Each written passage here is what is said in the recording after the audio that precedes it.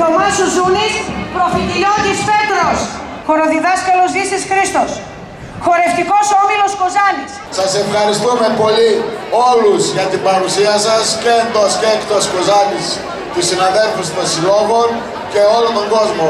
Καλή διασκέδαση και χρόνια πολλά Χριστός Ανέστη.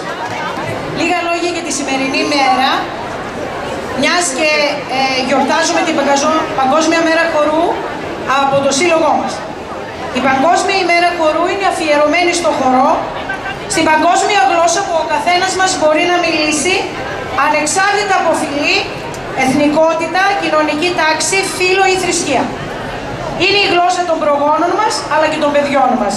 Είναι η γλώσσα του σώματος, αλλά και της ψυχής.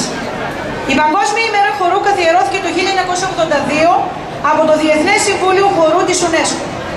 Εορτάζεται κάθε χρόνο στις 29 Απριλίου, ημερομηνία γέννησης το 1727 του Ζαν Ζορζ Νοβέρ, δημιουργού του σύγχρονου παλέτου.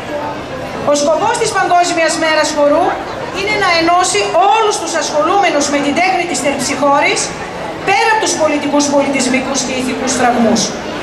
Κάθε χρόνο, αυτή την ημέρα, γίνονται εκδηλώσεις σε όλο τον κόσμο που κύριο στόχο έχουν να τραβήξουν την προσοχή του Εβραίου σκηνού προς την τέχνη του χορού. Δίνεται έμφαση στην προσέλκυση ενός νέου κοινού, δηλαδή ατόμων που δεν συμμετέσχουν σε εκδηλώσεις με χορό κατά τη διάρκεια του έτους. Γι' αυτό και οι εκδηλώσεις αυτές γίνονται κυρίως σε πλατείες ή πάρκα για να γίνονται εύκολα αντιληπτές από τον ευρύ κοινό. Στην πόλη της Κοζάνης θεσμοθετήθηκε και εορτάζεται τα τελευταία 17 χρόνια, τρία χρόνια γνωρίζετε ότι δεν έγινε εξαιτίας της πανδημίας και κάθε χρόνο η Παγκόσμια ημέρα χορού από τον Πολιτιστικό και Λαογραφικό Σύλλογο η και είναι αφιερωμένη στα παιδιά μας, στα λουλούδια μας.